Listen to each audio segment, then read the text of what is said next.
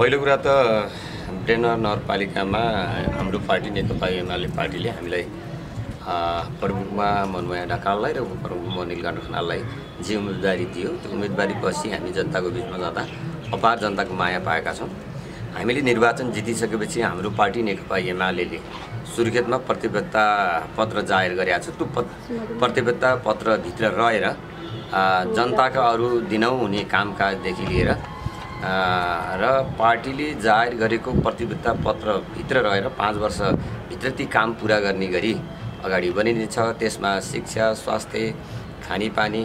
पूर्वाधारका कामहरूलाई अत्यन्तै हामीले ध्यान दिनेछौँ भने साथै महिला बालबालिका ज्येष्ठ नागरिकका बिच क्षेत्रमा पनि हामीले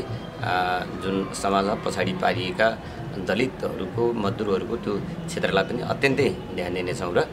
युवाहरूलाई रोजगार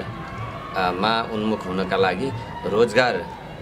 दक्ष जनशक्ति निर्माणका निम्ति योजना बनाएर अगाडि बढ्नेछौँ। एउटा कुरा त अब हामी मैले ल्याएको भन्दा पनि नेकपा एमाले पार्टीकै आस आडमा त्यो मत प्राप्त भएको भन्ने कुरा मलाई लाग्छ।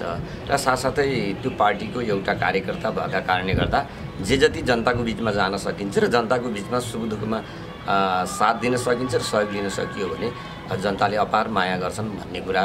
आज सुर्खेती ब्रेननगरभित्र रहेका जनताले नेकपा एमाले पार्टीमा त्यो माया स्नेह देखाएको कुरा नै हो भन्ने लाग्छ मलाई। हामी उम्मेदवार हुँदा एउटा राजनीतिक दलकाबाट उम्मेदवार भयौँ हामी निर्वाचित भइसकेपछि हामी साझा हौँ र सबै आस्था राख्ने नागरिकहरूकै हामी जनप्रतिनिधि त्यो अनुसार नै हामीले भूमिका निर्वाह गर्नुपर्छ भन्ने कुरा नै।